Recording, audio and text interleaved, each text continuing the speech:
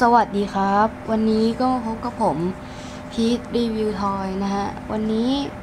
ผมก็จะมารีวิวของเล่นเก่าๆกันบ้างนะฮะ ก็ของเล่นนานมาแล้วนั่นเองนะครับผม โอเค เราก็จะมาเริ่มจากตัวแรกกันเลยนะฮะ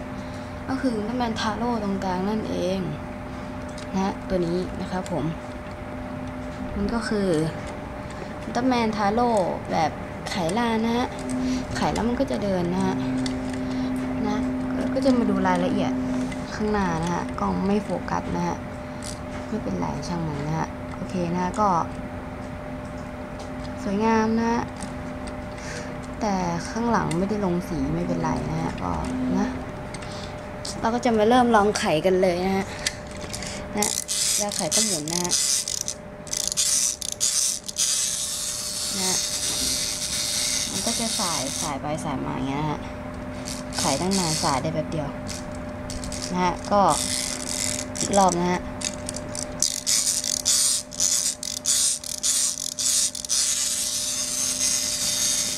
นะที่อยู่ในลักษณะสายไปสายมามากกว่าเดินนะฮะโอเคเราก็จะมาเริ่มจากต่อมาก็ตัวต่อไปกันเลยนะฮะตัวนี้ก่อนอ่านี่ก็คืออุลตร้าแมนเซเว่น นั่นเองนะคะนะครับผมก็เป็นอุลตร้าแมนเซเว่นนะฮะก็ถลอกเยอะพอสมควรนะฮะก็โอเคนะฮะก็มีรูข้างล่าง ไม่ทำอะไรก็ไม่รู้นะฮะโอเคอืมตัวต่อไปเลยนะฮะนี่ก็อุลตร้าแมนทาโร่นะฮะอุลตร้าแมนทาโร่เนี่ย ก็จะเป็นแบบเดียวกับอุลตร้าแมนเซเว่นนั่นเองนะฮะ แต่ว่าทาโร่นี่จะดูใหม่กว่านะ อืม ใช่ เก็บทาโร่ไว้ดีกว่าเซเว่นยังไงไม่รู้นะฮะ ทาโร่นี่เป็นของใหม่เลยนะฮะ อืม มีรูเหมือนกันนะฮะ แสดงว่า รุ่นเดียวกันนั่นเองนะครับผม อ่า ข้างๆนะฮะ ข้างหลัง ข้างหลังข้างๆอืมถ้าโลกก็จะอยู่ในลักษณะปล่อยลำแสง โตเรียมนะฮะสโตเรียมสโตเรียมนะฮะก็นะก็ไม่มีอะไรมากนะฮะก็ไปตั้งโชว์ เล่นๆนะฮะเออตัวต่อมา เอาตัวไหนก่อนอันนี้ก็อ่านละกันนะฮะอันนี้ก็คือจะเป็นคล้ายๆเลโก้นะฮะ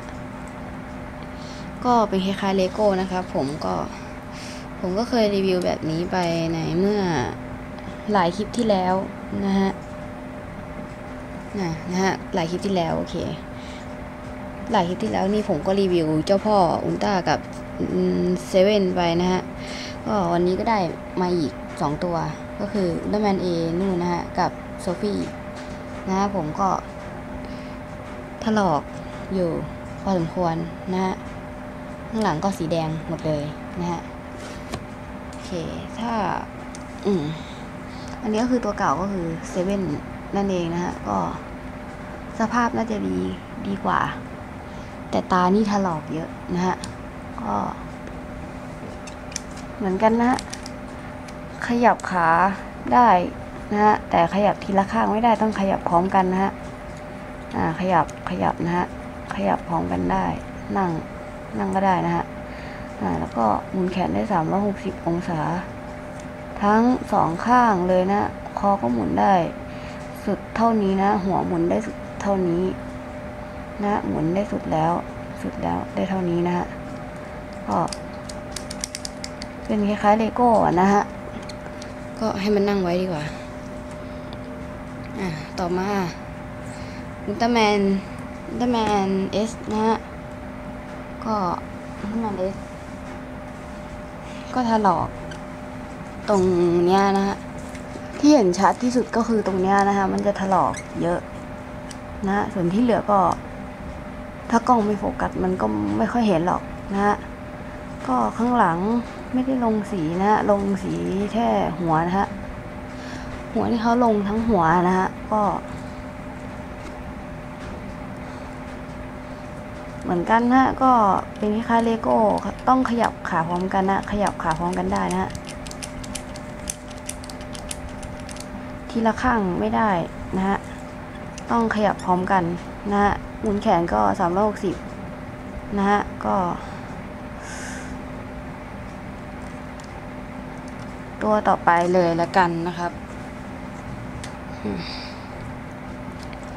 อ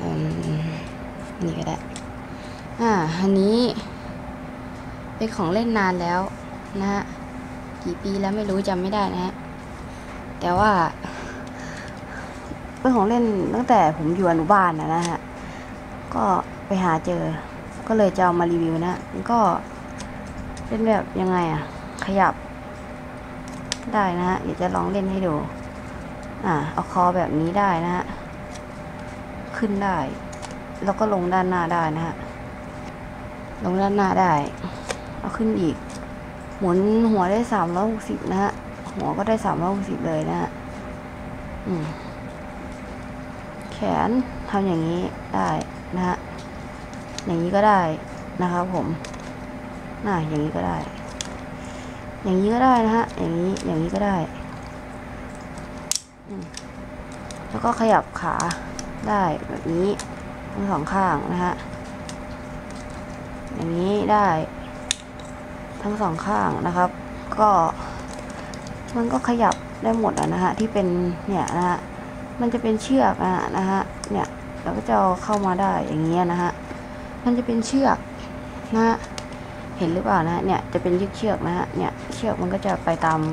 ไปตามร่องนะฮะ เนี่ยมันจะเป็นขีดๆเนี่ยก็คือให้เชือกมันขึ้นไปได้นะฮะ เนี่ยให้เชือกมันขึ้นไปได้นะครับผมให้เชือกขึ้นไปได้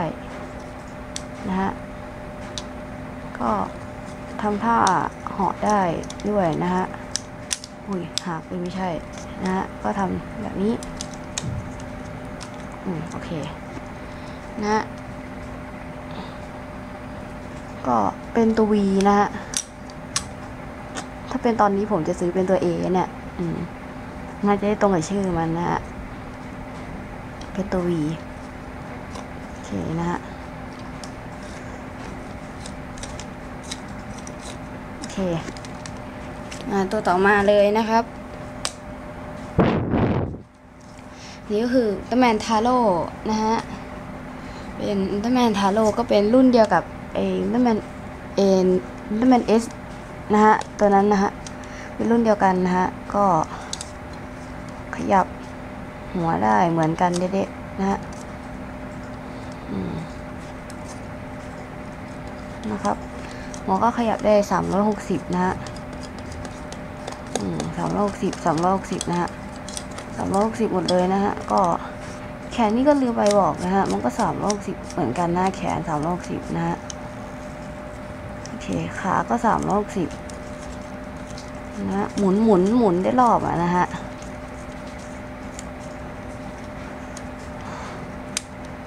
เนี่ยเออหมุนหมุนได้หมุนได้รอบนะฮะ ก็ตั้งท่าให้มันได้นะฮะ อืมลำแสงสตอเรียมไม่ไม่ได้ไม่น่าจะได้นะนี่ครับลำแสง นี่ลำแสงสเปซเซียมนะท่าปล่อยแสงนะก็ทำได้นั่นเองนะครับผม แต่ลำแสงสโตเรียมนี่ไม่น่าจะทำได้นะลำแสงสโตเรียม ไม่น่าจะได้นะ ของเซเว่น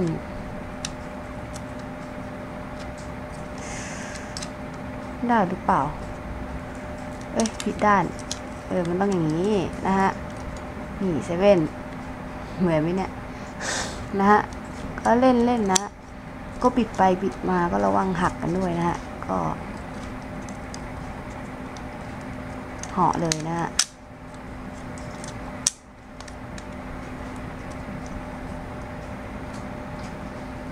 นะฮะก็เล่นๆนะนะฮะ เท้าเท้าก็จะเป็นอย่างนี้นะฮะผมลืมให้ดู เท้านี่จะเหมือนกันนะฮะแต่อันนี้เป็นสีแดงแต่แมนเอสเป็นสีแดงแต่แมนทาโร่เป็นสีฟ้านะฮะอืมนะครับผมก็โอเคนะฮะ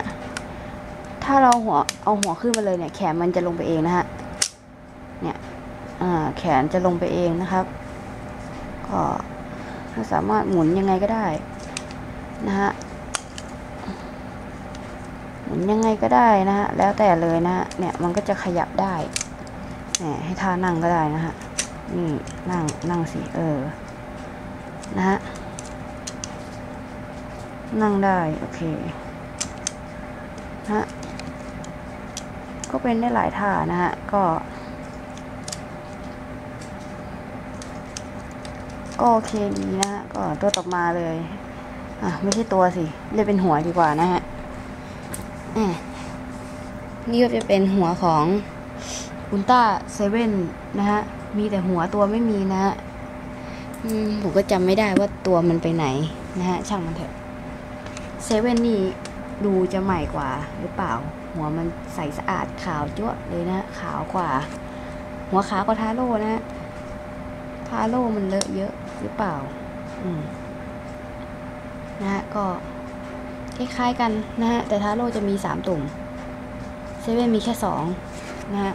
ก็โอ้ยเปลี่ยนหัวนะฮะ เปลี่ยนเปลี่ยนเวลาเปลี่ยนนี่ไม่แนะนำให้เปลี่ยนนะฮะ เปลี่ยนยากนะฮะ โอเคนะฮะ ก็เอาไว้เปลี่ยนนั่นแหละนะครับ โอเคนะฮะ เดี๋ยวจะลองให้เปลี่ยนก็ได้นะฮะเนี่ยถอดหน้ามันออกมานะฮะโอเคแต่เซเว่นนี่ยังไม่ได้ลองแกะไปแกะได้ด้วยนะแล้วก็แกะมันออกมาอย่างนี้นะฮะเนี่ยเอาหัวมันออกเอาหัวเซเว่นใส่แทนนะฮะเนี่ยโอเครัดไว้รัดไว้รัดไว้รัดไว้โอเคโอเคโอเคประกอบประกอบสิอ่าเสร็จแล้วครับ นี่ฮะ ก็เปลี่ยนจากหัวของ u l t r a m a n S เป็นเซเว่นแทนนะฮะ ก็เปลี่ยนได้หมุนก็ได้สามร้อยสิบนั่นแหละฮะเปลี่ยนได้นะฮะโอเคเปลี่ยนได้ ถ้ามีหัวก็คือเปลี่ยนได้เลยฮะ ดูดีกว่าไหมนะฮะ ก็อะวันนี้ก็มารีวิวของนิดเดียวนะฮะ ไม่เยอะนะฮะ ก็เอาไว้พบกันใหม่นะฮะในคลิปหน้านะสำหรับวันนี้ก็สวัสดีค่ะ